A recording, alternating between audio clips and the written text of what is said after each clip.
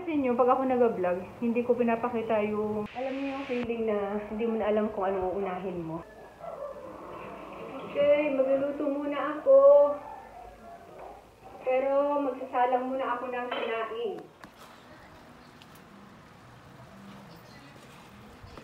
So, hindi yan pwedeng gamitin na hindi pa nalalabhan. Kaya, isi-share ko sa inyo kung paano ako maglaban ng ganito. Thanks God kasi ang daming order, yun nga lang talaga, ang daming. Ako naman, kaya lang naman din kami nagiging puwersigido ng sobra-sobra. Ayoko kasi dumating dun sa point na pag matanda na kami, aasa kami sa anak.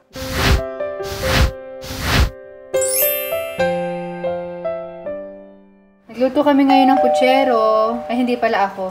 Si Habi. Tingnan nga natin. Kuha ako ng... Asan yung kutsara dito pang mayaman? Ayun oh, ang lambot to. Oh. Dahil marami to, papadalan ko si Nana Cooks. Ito na lang yung gagamitin ko, lalagyan.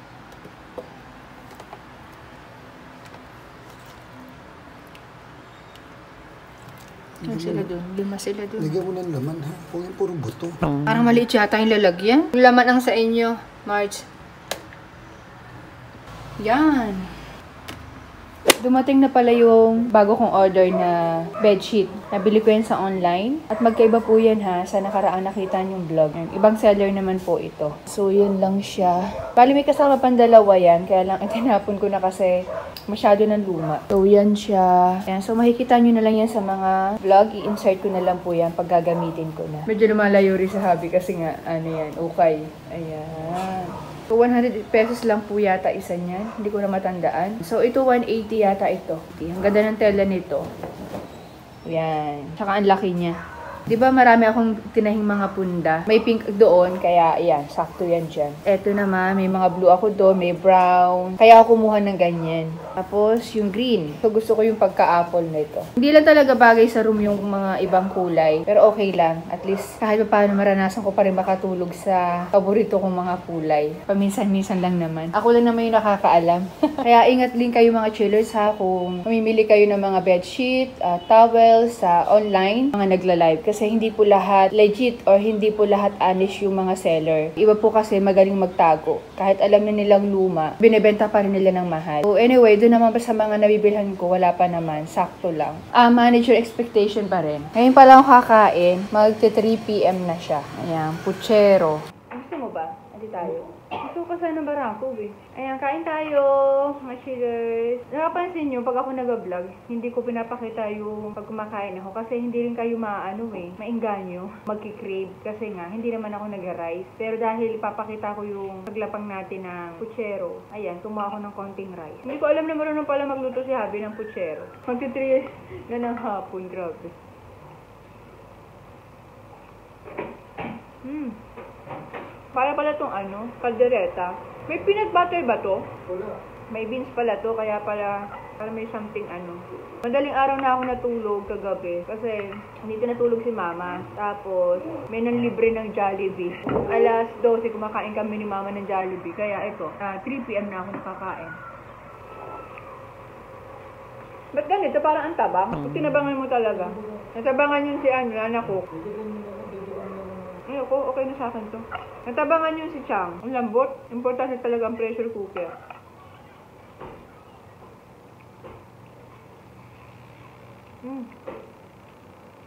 May tumatawag. Ang dami kong reklamo na matabang, pero tingnan nyo yung pinagkainan ko. Oh. Pero totoo, matabang talaga. Tingnan nyo, inuubos na naman. Inuubos na naman niya. Wala na, ubos na ang halaman. Yung sa sala, kalbo-kalbo na. Inaakya talaga nila. Naghahanap ng kalaro si Butchokoy.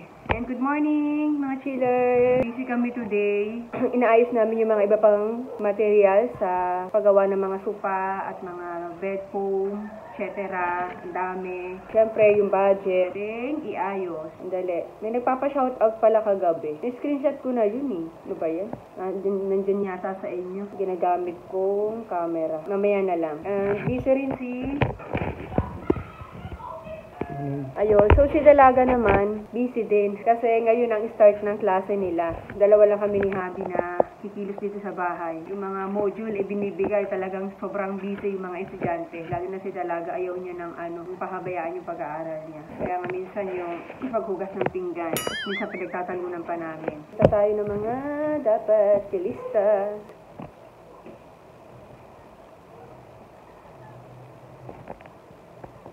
Alam niyo yung feeling na hindi mo na alam kung ano unahin mo. Ah, kasi ang dami kong kausap, tapos ah, yung PA ko busy din. At magluluto ako ngayon ng pansit bato kasi magto-12 na. Ayan, pechay, ang tsaka bagyo beans. Asan yung carrot? Wala yata binilang carrot si Habi. Ayun, so yun, pwede na din yan. Ay, yung baboy pala kukunin pa sa baba. Bali kasi yung kausap ko ngayon, pupunta ng ano, may lakad din. Kaya, di pwede hindi ko siya sagutin.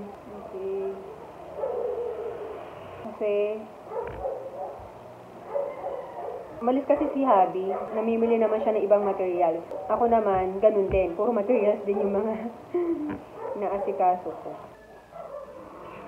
Okay, magluluto muna ako.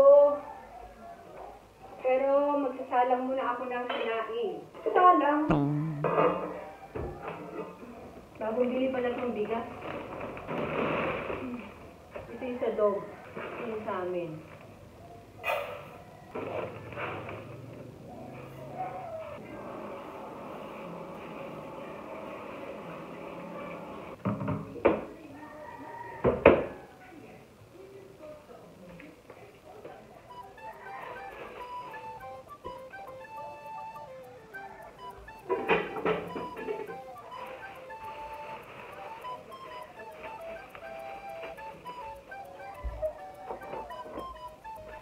Pala yung carrot.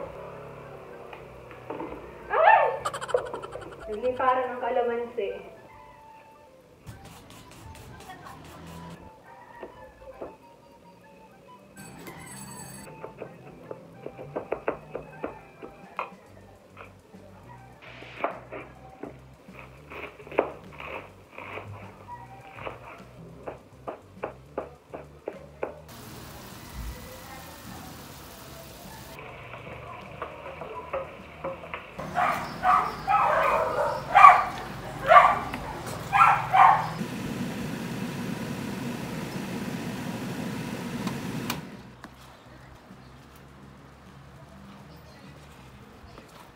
Okay, singit ko nga ito mga chillers habang inaayos yung mga tela sa likod. Ang kakapal kasi ng mga telang in-order ko ngayon, grabe. At ito, nabili ko rin siya online sa mga stuffed toys. Nakitan lang ako, 120 pesos lang dalawa. Kabayo to. Nalabahan pa to eh. Madali lang naman itong labahan kasi maliit lang siya. Ayan oh. Ang Cute. ito naman yung isa. Yan siya. Meron nga doon bundle-bundle. Ano siya? 300 pesos. Mga aso naman siya. Depende kung ano yung available doon. 11 pieces na. Makakamura kasi pag ganun. Ah, gusto ko nga sanang imay na kahapon kasi ilalagay ko doon sa maliit na truck. Kaya lang hindi pa napipinturahan. So, wag na muna. So, ito dito lang to. Ano kung saan ko to ilalagay. Wala, tutuwa lang talaga ako. Cute kasi ang tambok ng puwet, oh. Tapos ito, ukay-ukay din siya. Ah, itong malaki, nabili ko siya ng ano, 600 pesos. Pero hindi po ako nag-mind si mama. Ito namang isa, 400 pesos. So, hindi yan pwedeng gamitin ng hindi pa nalalabhan. Kaya, isi-share ko sa inyo kung paano ako maglaban ng ganito. Ah, dapat sa laundry shop. Mas safe ko kasi pag ako yung maglalaba. Ah, sobrang dami ko kasing ganyan noon. Halos yung kwarto ko puno. Kaya lang pinagbawal sa akin ng doktor. Bawal daw sa may mga allergies. Pero ngayon, isa lang naman yung gagamitin ko kaya pwede yan. Okay, ganito lang yan chillers, oh. Yan. Buti na lang, may zipper siya dito sa likod. Aalisin ko lahat ng laman, ilalagay ko sa planggana, and then paiinitan ko sa sikat ng araw. Tapos yung pinakang cover niya, yun yung lalabahan ko. Para talagang malinis na malinis. Kaya kung bibili kayo ng mga stuffed toys, mas maganda yung may zipper sa likod. Ito naman, isa kay mama. Naabit ko nga to kay mama eh. Sabi ko sa kanya na lang yung maliit, sa akin yung malaki. Kaso ayaw pumayag.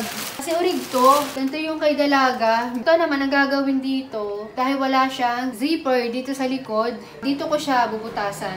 Ay, mas maganda yata dito na lang sa puwet. Saan ba maganda? Kailangan natin siyang iimbalsa mo. I think, I think, I think. Ah, dito na lang.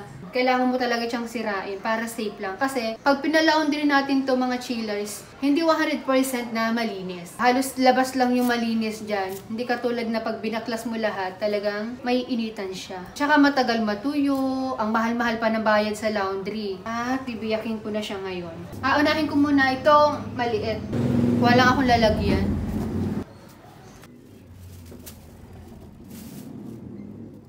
Kaya kayo, kung wala kayong kayakap, pag matutulog kayo, ito na lang gawin nyo. Kung wala namang gusto rin magbigay sa inyo ng ganito, ka ng mangarap, bumili ka na lang.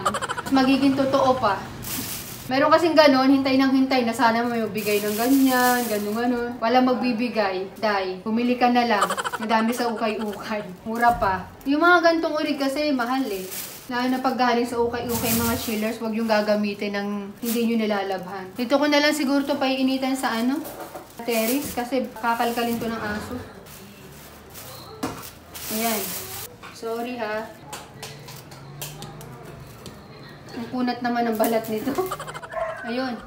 Ito, kailangan malaki-laki yung butas. Para hindi ka mahirapan. Marami naman kami sinulid na ganito ang kulay. Tsaka ano, sarado yung laundry shop dito malapit sa amin. Kahit nga dun sa malayo, sarado din. Matatagalan pa panat antabay kami. Kaya ganito na lang. Laba-laba. Tips ko ito sa mga mahihirap chillers ha. Nakatulad ko ha. Sa mga hindi maaarte. Pero kung maarte, bawal to. Mamumroblema ka lang, day. Tigil-tigil mo na yan. Huwag mo na kaming gayahin. Kami kasi sanay kami dito. Sanay eh, no? Tapos mamaya, singot-singot na ako. Kung sino pa yung tao may allergy, yung yung malakas ng loob sa mga ganito. Kung sino naman yung walang allergy, minsan yun naman yung aarte. May mga tao kasing kahit singutin yung alikabok. Hindi basta-basta nagkakasakit. Hindi biro ang may allergy rhinitis mga chillers. Kala nyo lang. Kala nyo nag-iinarte kami. Nako, pag dinanas nyo, mabuti pa minsan yung may allergy ka sa ano eh, sa balat. Wag lang talaga yung kagtulad yun sa akin. Hindi pwedeng walang maintenance. Han, ikaw naman! Pagod na ako. Pero yung binili ko kay Dalaga, hanggang ngayon matibay pa rin naman. Wala pa rin naman tastas. Pero yung bili ko doon, 1.5. Nali, nali na ako. Sana ganito din yung sa tao, no? Pag aalisin yung taba mo, di na lang. Ito yun naman yung sa ulo niya, ay sa muso. Dito sa loob, ganyan yan. May butas. Nakatahinga lang siya. Okay. So, yan ang paiinitan. Tsaka ito.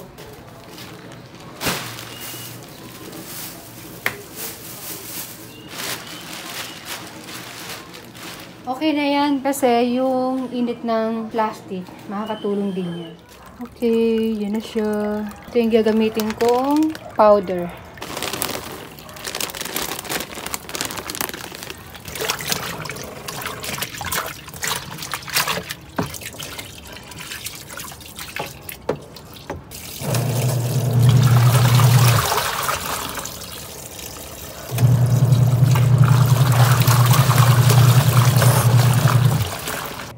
Ako ngayon sa Dirty Kitchen.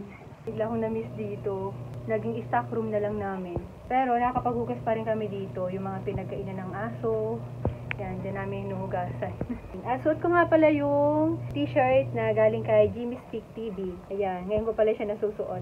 Sakto lang yung size sa akin. Thank you kay Jimmy Speak TV. Mer meron din galing kay, ano, Makimoto. Kaso lang na kay Ate Marisa pa. So, hindi ko pa nakukuha dahil hindi pa nakakapunta sila Ate Marisa dito sa bahay. Sana nga makarating sila dito soon. Ang dami naman sinampay dyan. Sa totoo lang, hindi pa ako tapos mag, ano eh, mag-ayos ng mga orders. Makahinga lang ako kasi masyado nang babad yung mata ko sa cellphone at saka sa computer. Habang nagpapahinga yung mata ko, yun nga, nilalabhan ko yung mga stuffed toys. And then yung mga iba pang na-order ko sa online, ukay-ukay na bedsheet. Sobrang dami ng talo ngayon. Partida pa. Kaani lang dyan kahapon. Ayan no, dami. Ngayon ko lang ito nakita ng ganito karami yung bunga. Dami, nakakatuwa.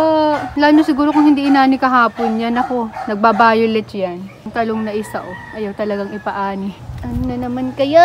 Alam nyo sa Hilton, nagtataka talaga ako. Lakas-lakas kumain pero ang payat. Ito po talagang nananaba. Okidoki doki. Isampay ko na. O, diba? Sobrang linis na niya. Lagyan ko kasi ng konting sondro. As in, konti lang. Isang takip lang. So, ang liwanag na ng kulay. Parang relasyon nyo. Maliwanag na naglulukuhan lang kayo. So, ito naman yung ano, horse. Oh, cute. Para tuloy gusto ko yung pang regalo yan. Kasi ang gandang-ganda talaga ako. Wala, malamang tumutunog pala to. Kasi ito, oh, may pisilan. Pisilan! Meron siya dito parang lalagyan ng battery. Ah, cute. Pero ito talaga ang mas cute. Tunay. Yan ang tunay. Ano, yung mingisi yan. Isiday siya na! Arte-arte niyan eh. Porque siya lang yung babae eh. Shadow spoiled. Yan yung mga shota niya. shota. Okay, dinner time. RJ's Pizza de Pugon. Ito yung pangalawang order namin, mga chiller sa kanila. Papadala yung order namin sa kanila kasi mura lang yung pizza nila. So, ayan. May message. Madam, thank you for choosing RJS. Love. RPDP. Ayan. Ah, ang flavor nito, Hawaiian at pepperoni. Alam nyo, mas madalas na hindi lumalabas si Dalaga doon sa room niya. So, wala kaninang umaga, isang beses pala lumalabas. Tingnan nga natin, ang init pa niya. Ooh, daming toppings. And pepperoni. Ooh, 160 lang mga chillers. Pag nakatatlong box kayo, 499 pesos and then may free pa kayo 1.5 na Coke. Isa lang sa akin. Napadalas na ako nito eh. Kain. So, yan na lang yung natitira. Nilalapang na ni Habi. Yan. Tapos ako, ganito talaga ako kumain ng pizza. Kaya kahit anong klase ng pizza, hindi ko kinakain yung ganito. Kaya, kaya binibigay ko yan sa aso. At nakaabang na sila. Excited akong ibigay sa kanila yan. Gusto nila yan. Busog na rin ako. Okay, balik na naman ako dito sa table ko. Yung ganda talaga ng lip tint ko. Naligo na ako, nag-toothbrush na ako. Pero tingnan nyo, mapula pa din siya. Ito yan, no? ING Cosmetics. Ayan. So, katatapos ko lang maghakbat, hindi na ako nag-shower ng hair lalo ga- dahil naniging manipis na naman yung buhok ko. So, sobrahan sa paligo. Ang Dami-dami yung busy namin ngayon. Hindi ko na nga lang pinakita sa inyo. Dahil nag-focus talaga ako. Thanks God kasi ang daming order. Yun nga lang talaga. Ang daming stress. Kasi marami talagang materials na kulang. Anyway, problema ko na yon Hindi nyo na problema yon Kanina habang nakaupo kami sa sofa, so, i-share ko lang sa inyo, nakakapagod din talaga. Nakakapagod yung business, mga project. Pero ito na lang iniisip ko kanina. Iniisip ko na lang na, ayan, meron din siya kakausapin. Nagtatanong daw tungkol din yata sa pag-drawing-drawing niya. Mas nakaka-stress yung walang trabaho. Kung makikita niyo lang kami mga chiles behind the scene. Behind the scene!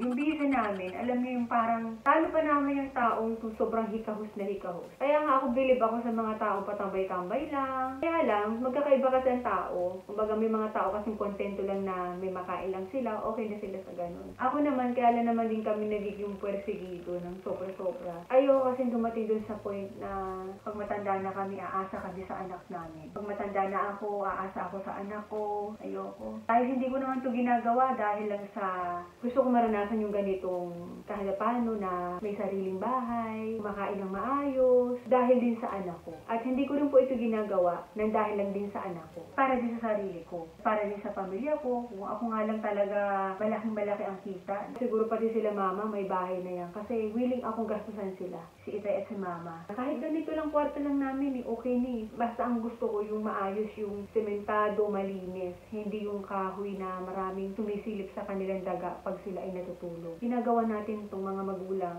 yung pagpupursige natin sa paghahanap buhay. Para hindi nila danasin yung dinanas natin noon na paghihirap. Ganun talaga, samantalahin habang malakas pa. Kung ikukumpara kami, so lalo na ako sa ibang tao na nag-OFW na mas maedad pa sa akin pero ganun pa rin talaga sa paghahanap buhay. Talaga nagtitiis sila para sa pamilya. Yun na lang iniisip ko kapag ka ako napapagod na rin ng pag-manage ng hanap buhay, yung business. Kumbaga, hindi tayo, hindi ako nag-iisa eh. Andyan din kayo. Alam niyo mga chillers, hindi ko na lang i-mention yung mga names ng mga nakakausap ko mga viewers, mga buyers. Grabe, nakaka-inspire at nakakalakas ng loob yung mga isinishare nila sa akin para lang maging matatag bilang isang OFW. Ah, isa na dun yung nakausap ko na biniyak yung dibdib niya, kailangan niyang operahan sa puso. And after niyang gumaling, ayun, diretso pa rin siya. Hindi pa rin siya umuwi ng Pilipinas. Nagtatrabaho pa rin siya. Pwede pala yun. May mga bansa pa lang gano'n na kahit sabihin na na operahan ka, pwede ka pa magtrabaho. Di ba? Ang alam ko, dito sa Pilipinas, hindi na pwede yung gano'n. Paputol nga lang isang daliri mo, hindi ka na matatanggap basta-basta sa trabaho, di ba? Ewan ko lang po sa ibang lugar. Comment down below kung ganun din yung mga lugar niyo. Tapos yung isa naman, namatayan ng anak. Pero tuloy pa din. At namatay yung anak niya sa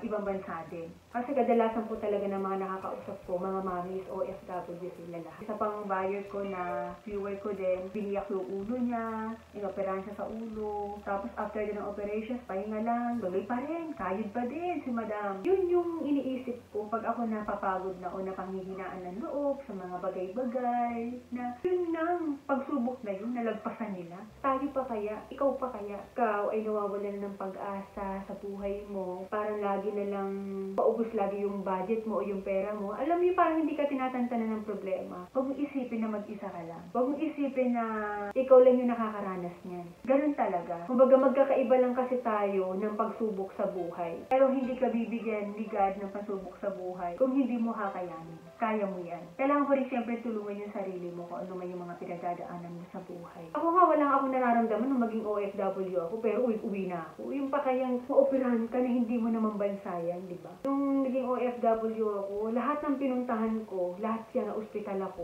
Sinusumpong ako ng anxiety, sinusumpong ako ng mga katikatik ko, namamantal ako, namamaga ako.